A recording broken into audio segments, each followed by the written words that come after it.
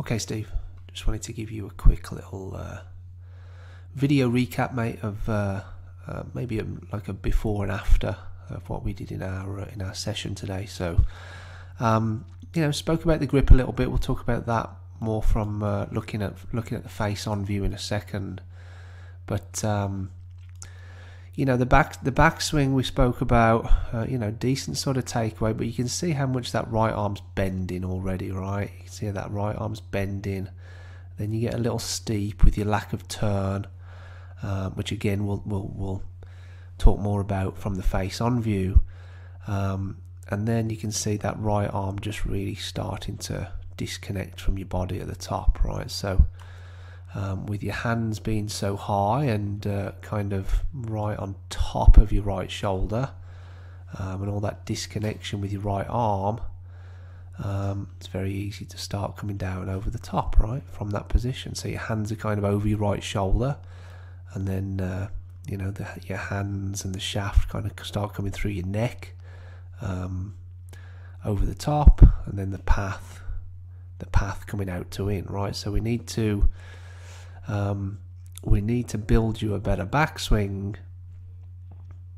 um, which gives you more of a chance of, of getting that club coming down uh, between those two red lines in the slot, right? So, so all I'm doing here is uh, just just building your backswing from P1 at the start to P2, shaft parallel with the ground, to P3, left arm parallel with the ground right? You can see what I'm doing there. I'm, I'm, I'm making sure we put a T-peg under your arm, right, underneath your armpit to help you feel a bit of pinching under your armpit. And then, uh, right, get up to P3, feel that, right? So you're still feeling some pinching under your armpit, uh, keeping that keeping that connection there. And then I'm, we were just completing our turn to get up to the top, right? And I'm saying, right, well, okay, your elbows come off your chest a little bit, which is what we want, but that pinching under your arm stays there, right? Just to build up that, just to build up that feeling.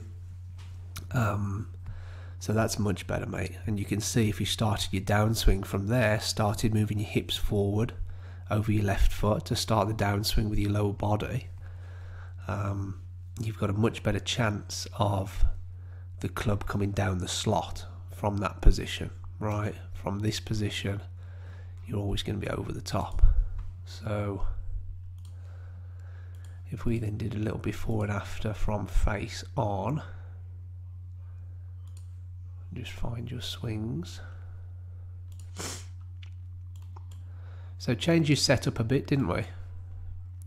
Um, feet a bit narrower.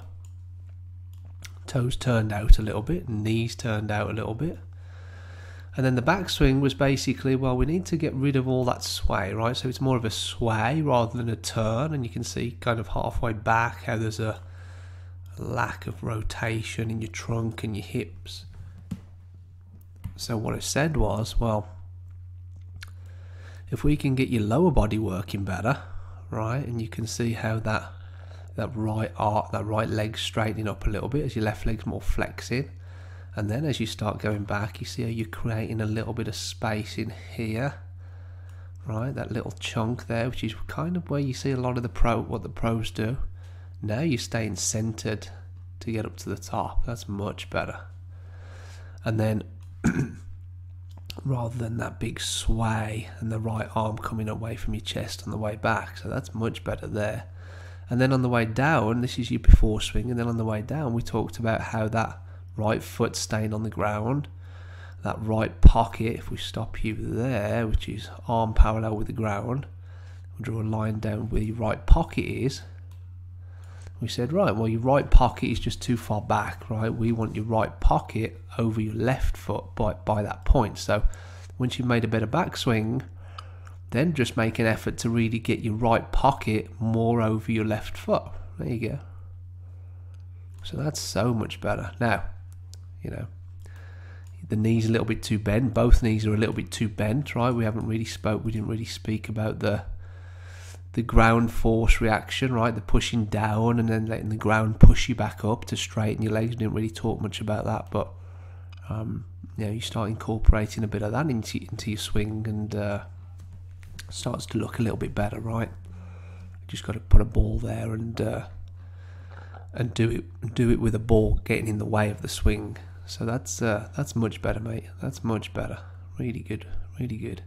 And you can see how that right pocket now is over your left foot. So um, that's it, mate. Um, if you have any questions, just uh, shoot me over an email. Cheers.